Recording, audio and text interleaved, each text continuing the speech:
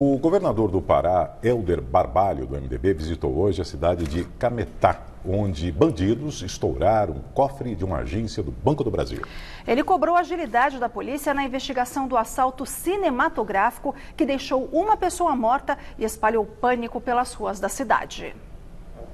Logo cedo, no aeroporto, o governador Helder Barbalho, do MDB, gravou um vídeo ao lado da cúpula da Segurança Pública do Pará no embarque para Cametá.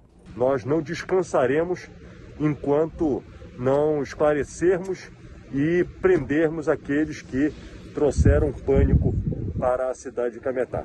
Um abraço a todos e vamos embora trabalhar. Na hora do almoço, já no local do assalto, o governador visitou a agência do Banco do Brasil que ficou destruída com o impacto da explosão de uma bomba.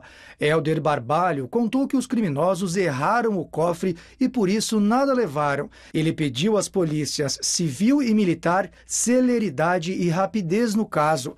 Além disso, o MDBista disse que apurações preliminares apontam relação do grupo com facções que comandam o narcotráfico.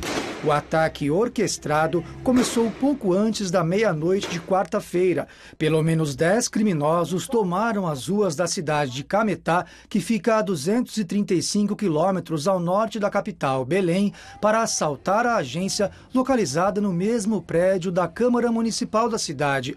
Moradores fizeram vários vídeos do momento da ação. Homens tentaram se esconder atrás de carros e dava para ouvir o barulho dos tiros.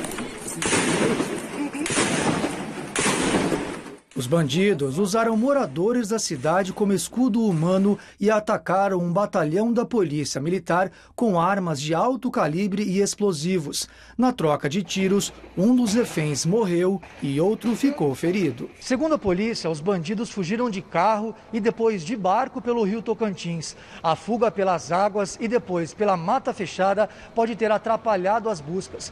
Os criminosos deixaram pelo caminho uma caminhonete cheia de explosivos dinamite e o próprio veículo localizado dentro do rio. Agora a perícia vai buscar por digitais para tentar localizar os integrantes da quadrilha. A ação tem características semelhantes à registrada em Criciúma, no sul de Santa Catarina, na madrugada de terça-feira.